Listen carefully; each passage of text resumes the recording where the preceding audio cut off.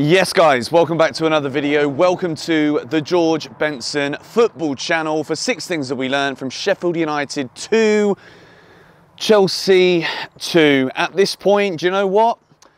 I can't even get angry. I've had a beautiful weekend. I had a stunning Sunday roast today. It was delightful. Chicken, stuffing, red cabbage, parsnips, carrots, roast potatoes. We even put the flipping roast on, went out for a walk, came back and it was cooked. Got excited, watched Man United versus Liverpool. 2-2, good game of football, entertainment. Two teams that played well, United.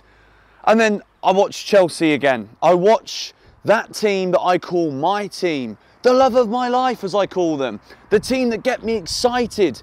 The team that leave me on tenterhooks wanting more, even when we're rubbish. But I tell you what, I am so sick to death of going backwards and forwards, saying, oh, we might have turned a corner now, to watching the same old dross happen every single week. We can't go two games in a row and look like a team. We can't go two games in a row and give the effort and play at the intensity that is necessary to be seen as a Premier League club. We played today against the Sheffield United team, and no disrespect, they fought until the very end. But let's be honest, a spade it's a flipping spade, mate. They're one of the worst teams that have ever graced the Premier League. They've got such an awful record this season. They're battered every single week. And yet Chelsea go to Bramall Lane and we gift them two goals. We played so poorly today. I'm sorry, there has to be serious questions asked at the top of this football club. Maybe they don't even need to be asked about Mauricio Pochettino because, you know, the players give off piss off, man. The questions need to be asked about why there isn't enough questions being asked at this football club. Why do we look at this mediocrity that we see game after game, week after week? Look, don't let the fact that Cole Palmer scored a hat trick, he didn't play that well today, but he wasn't awful. Don't let the fact he scored a hat trick against United paper over the fact that we played against such an awful side and even Man United, we, we won the game 4 3, but we didn't play well. Every single week, we are seeing average, lackluster Chelsea performances. And I'm sorry, but something has got to give. And the manager isn't inspiring the players enough. The manager isn't getting enough out of the team. What we're seeing game after game at the moment is Chelsea looking as though they're a team that is full of individual quality. Players who maybe in three years, four years, five years, they might become quality players, but we're not a team. There is no togetherness, there is no camaraderie and unity when it comes to being like, look, okay, this is Chelsea Football Club. This badge is worth something to so many people. This badge has history, it has heritage, and we should play for that with an intensity that makes us look at least like we want to go up the table. And to be quite honest, when I see this, I'm starting now to believe some conspiracy theories that maybe Chelsea don't want to be in Europe because we won't pass the FFP test, so we just don't want to be in European competition. At this point, the amount of disrespect that we give to teams that aren't Man United, Liverpool, City, Arsenal, we turn up against those. Why do we not turn up ever against the teams at the bottom of the table? It was so poor, so lackluster, and I've seen enough. I want to see the manager gone. I don't think Pochettino should be able to walk into Cobham tomorrow because clearly there's a motivational issue here. Clearly, this Chelsea team don't have anybody, whether that's the owner, whether that's the staff, the players amongst themselves. Like, how can you not get up for a game of football as a Chelsea player? Like, does, I've been here in the UK now for three weeks. I'm going back to Bali tomorrow. I went to the Burnley game and I was fuming like I am now. I watched the Man United game on TV and you get buzzed about individual players. You get buzzed about those moments that they are so beautiful, they are so valuable in football, but the narrative around Chelsea remains the same. We're a bang average team who play up to the standard of those that we're playing against. When it's a lower bottom of the table team, we play like we're bottom of the league. When it's a team that are top, we play like we're top. But like it's, you can't play Man City every week. I wish we could. At least then we might actually turn up and play. The intensity today was all over the place. My voice is going. I'm actually leaving England and I'm getting sick right at the end of my flipping trip, which is not ideal. But we started the game pretty well. We were in control for the first 25 minutes. Thiago Silva gives us the lead and I'm delighted for him. It's such an easy goal. That's the level of opposition we're playing against today.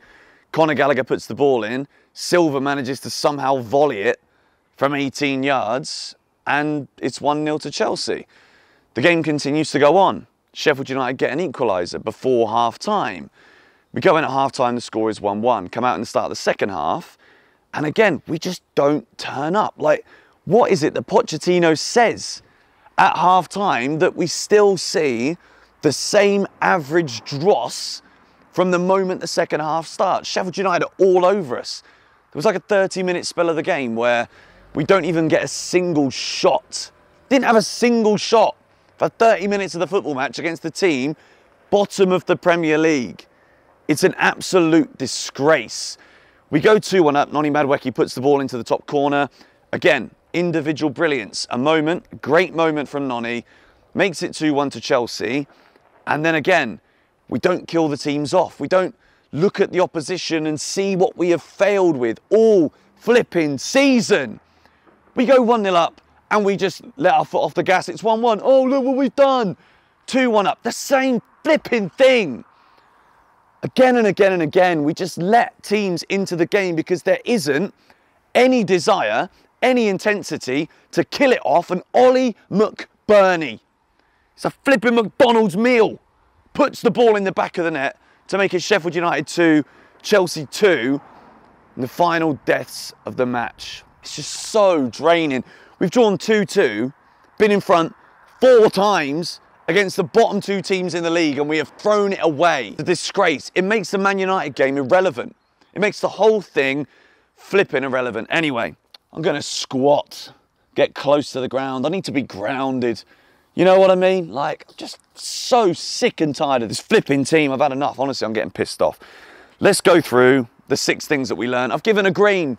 Bloody hell, Benson, how have you done that? Thiago Silva. Just happy for him to score a goal, to be quite honest. We move. Box number two is a red for intensity. What is it about this Chelsea team where they just don't look at Premier League matches, don't look at all of those people that have paid such good money during a cost of living crisis to go to Sheffield and to put in such an average, lackluster display again? Why aren't we getting up for these games? Why can we not see Sheffield United and be like, we're going to go out there, we're going to beat you, we're going to give the fans their money's worth, and we're going to entertain? Nothing. This is not a team. This is a bunch of individuals who, individually, could be really good players, but you ask them to play as a team, it's disgraceful. Absolutely disgraceful. Box number three is a red for Gallagher, who I didn't think had his best game today. And I want to know, Pochettino, why is Conor Gallagher when Mudryk's on the bench, even Sterling is on the bench, why is Gallagher the left winger? Conor Gallagher on the left wing. Like, I feel as though it's become a joke. We are literally a joke. We're a laughing stock in the Premier League. Mauricio Pochettino is playing Conor Gallagher left wing. What is going on? Mudryk, who's been brilliant recently, doesn't start again. Comes on with 10 minutes to go. He says, I'm completely lost. Box number four, I've given a green for Noni Madueke. Given a green because he scored a great goal.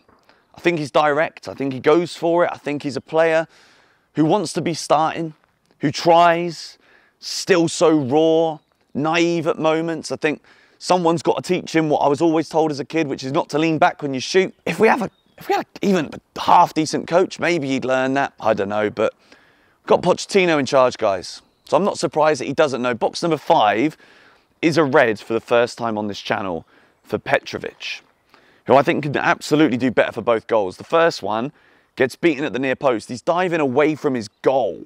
Like what? You anticipating a, a cross, mate? Wait, it's just bang average, so average. And then for the second one, he's so static on his line, doesn't get down quick enough to burn his goal, and he should be putting pressure on there. How we've conceded that goal is baffling. It's one of the worst goals we've conceded this season. How many headers did Chelsea miss there at the end of that game? Absolutely mind blowing.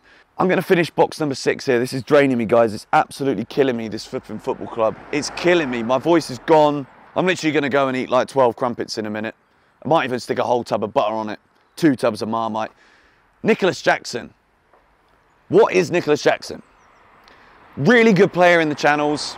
And I'm going to say it right now. I think Nicolas Jackson, play him in midfield, mate. Stick Nicolas Jackson in midfield. Give Caicedo a rest. Give Enzo and Gallagher the pivot. And let Jackson be the advanced midfielder. I don't know what he is. I don't know what he is. He's not a left winger. Not sure he's a striker. The man doesn't look up and look for his teammates, but he does things that are good. But I'm like, nearly, nearly, nearly, nearly. I'm, I'm beaten up after this, guys. If you're not yet subscribed to the George Benson Football channel, please do. Please like this video for my sanity. And please subscribe to my vlog channel because I'm going to try and keep everything sane there. See you guys later.